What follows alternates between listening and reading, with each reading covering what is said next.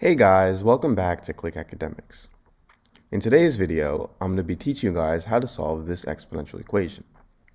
So I have 3 to the power of m minus 2 to the power of m is equal to 65. So what I'm first going to do is I'm going to rewrite this as 3 to the power of m to the power of 2 over 2. And 2 over 2 is simply just 1, so we have 3 to the power of m to the power of 1, which is the same thing as 3 to the power of m. So I'm not making any major changes here. So, and I'm going to subtract this with 2 to the power of m to the power of, again, 2 over 2. Now this is equal to 65. Now, I can actually rewrite this as 3 to the power of m over 2 to the power of 2 because these two 2's cancel out anyways so this is just equal to 3 to the power of m and I'm subtracting this with same thing over here 2 to the power of m over 2 to the power of 2.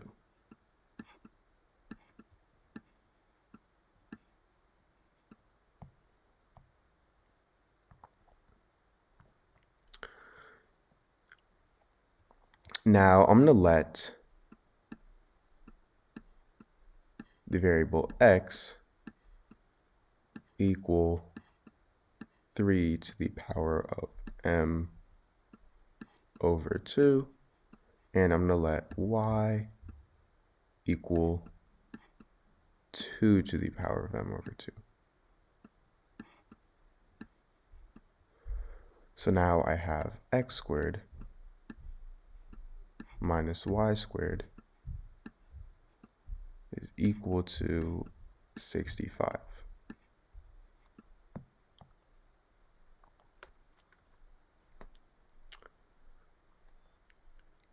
Now, if I have something in the form x squared minus y squared, I can write this as x plus y times x minus y.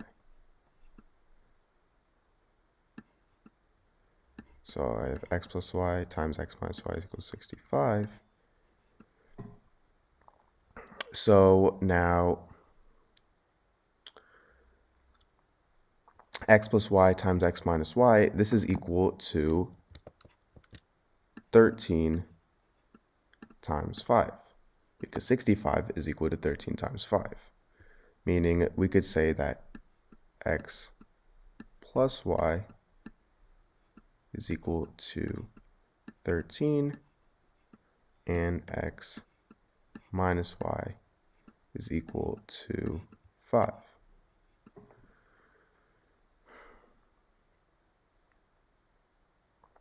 So now if I add these two together, x plus y is equal to 13 and x minus y is equal to 5.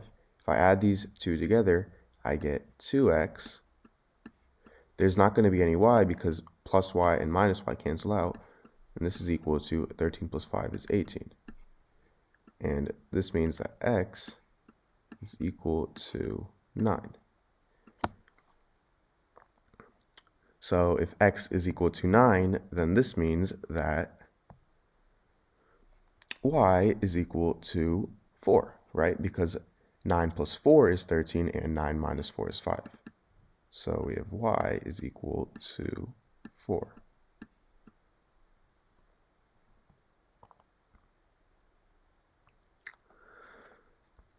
So now I have Let's plug in x in here.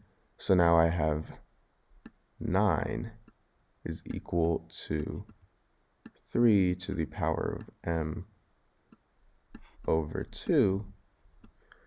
And 9 is the same thing as 3 squared, so I have 3 squared is equal to 3 to the power of m over 2, meaning 2 is equal to m over 2, and m is equal to 4. So this is our answer. M is 4.